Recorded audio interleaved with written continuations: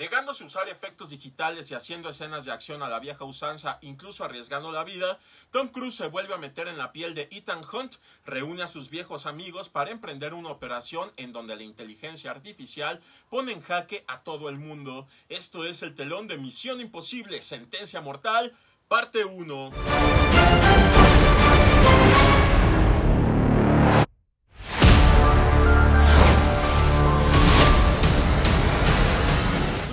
Dividida en dos partes es la manzana de la discordia de varias personas. Ethan y su equipo la tienen que localizar antes de que caiga en manos equivocadas.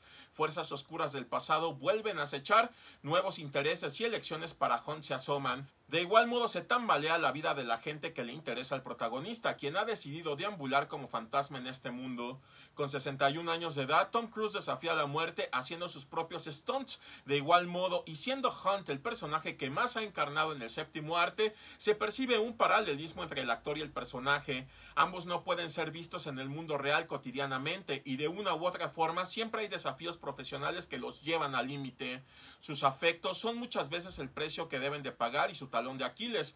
Esto es advertido en una de las frases del filme. Nuestra vida es la suma de nuestras elecciones y no podemos escapar del pasado. Ethan, esta misión es tuya, te va a costar muy caro. Asimismo, Cruz desafía ese culto a la juventud y demuestra que no hay edad para ser un ícono y un referente del cine de acción. Con un presupuesto de 290 millones de dólares, la cinta más cara en la que ha intervenido Cruz, cada dólar está bien invertido en las escenas incesantes de acción, las cuales están llenas de suspenso y adrenalina.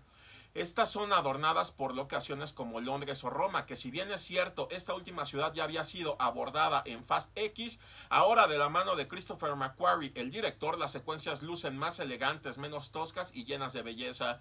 De igual modo, el cineasta rinde homenaje a otras cintas del género, como Muerte en el Expreso Oriente, de 1974. Con una duración de 163 minutos que se van como agua, los personajes fluyen. Las caretas y las apariencias son una herramienta que funcionan sobre todo en estas cintas de espionaje. También la fusión con la acción, con las mujeres empoderadas, todo hecho de una forma artesanal que le dan un toque frenético.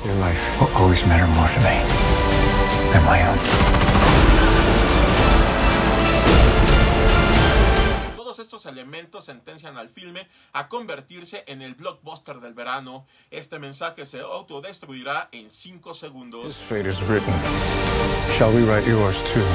If anything happens to them, there's no place that I won't go to kill you. That is written es todo de momento y tengo 10 pases dobles para Cinépolis, también incluido el VIP. Lo único que necesitan hacer es meterse al Capitalino, capitalino.mx, irse a la sección de farándula, tomar un screenshot de la eh, noticia que más les haya impactado, mandarlas a promociones arroba elcapitalino.mx y se estarán contactando con ustedes. También me pueden seguir en redes sociales, en Twitter en arroba Adrián Ruiz Bechica, en Instagram arroba Adrián Ruiz Bechica y Latina. Eso sería todo de momento. Mi nombre es Adrián Ruiz. Hasta siempre. Dobre.